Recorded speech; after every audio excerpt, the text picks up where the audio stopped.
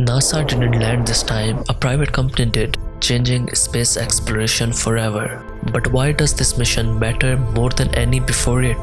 And what's inside this lander that could change the future of moon forever? Stay with me because what I am about to show you will blow your mind.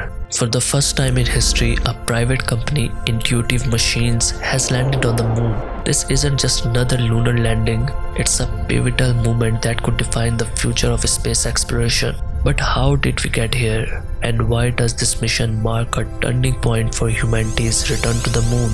After Apollo, humans didn't return to the moon for over 50 years. But behind the scenes, a quiet revolution was happening. Private companies backed by NASA were preparing for the next giant leap. Intuitive Machines, a startup that just achieved what nations struggled for the decades. But this isn't just about reaching the moon. This lander is testing something much bigger, something that could change how we explore the cosmos forever. The lander isn't just carrying experiments, it's delivering the first ever cellular network to the moon. Imagine that, the first step towards a fully connected lunar base. Now let's talk about what makes this lander different.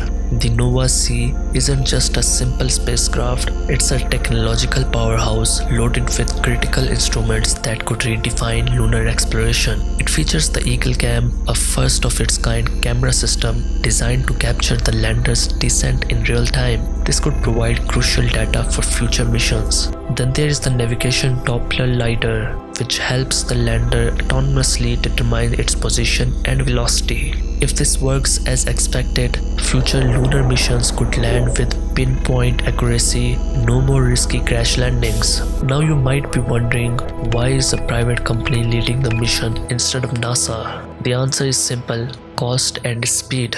NASA has shifted its strategy, focusing on partnerships with private firms like SpaceX, Blue Origin, and Intuitive Machines to reduce expenses while accelerating innovation. This mission is perfect example of that approach in action. This isn't just about exploration, it's about domination, survival, and the future of humankind. Whoever controls the moon's resources could control the next era of space travel. And in February 2025, the moment arrived. After a nerve-wracking descent, Nova C touched down. The world held its breath and then confirmation the landing was success. But it wasn't perfect, the lander faced unexpected challenges just like past moon missions. Engineers scrambled to fix this in real time. This mission wasn't just a test of technology, it was a test of adaptability. So what now? This is just the beginning. The next lander will be bigger, smarter and capable of carrying astronauts and the first human settlement on the moon. It might happen sooner than you think. If we can establish a permanent base on the moon, what's stopping us from reaching Mars? The moon is just the first stepping stone in the much bigger journey to become a multi-planetary civilization. So what do you think? Are we finally on the verge of colonizing the moon? Drop your thoughts in the comments and if you love space content, make sure to hit that subscribe button so you never miss any update. I'll see you in the next video.